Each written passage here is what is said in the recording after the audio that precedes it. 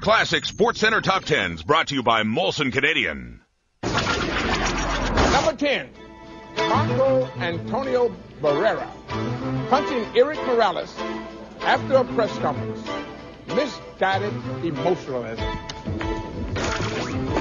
Hey, hey, hey, hey, Number 9, you have Merk, the trainer of Roy Jones Jr., taking on Stony, Norman Stone, the trainer of John Ruiz. They were really getting down over all it was worth. Number eight, Riddick Bowe throws a glass at Jorge Luis Gonzalez.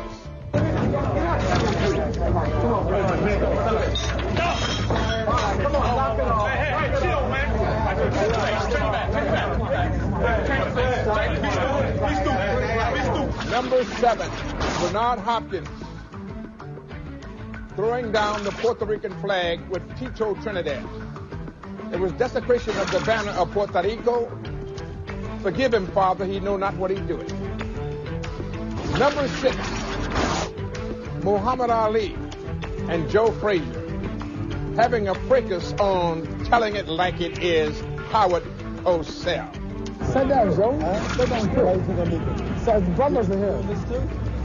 Sit down quick, Joe. Muhammad called him ignorant, and he's really angry. Number five, Lennox Lewis and Rahman at Gary Miller up close on ESPN. Think what you understand. Same thing. What? Okay, we don't want that. Number four, Lennox Lewis and Mike Tyson. The brawl that was supposed to be the biggest of them all. Oh, anybody in here can with this. This is the ultimate, man.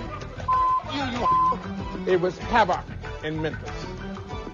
Number three, Riddick Bowe landing a one-two combination that was devastating on Larry Donald. Well, you know, he squared off with me, and I figured he was in the process of, you know, uh, about to throw punches, so I'm, I'm always taught to get mine on first. Number two, Mitch Blood Green against Mike Tyson. He took on Mike Tyson verbally and physically.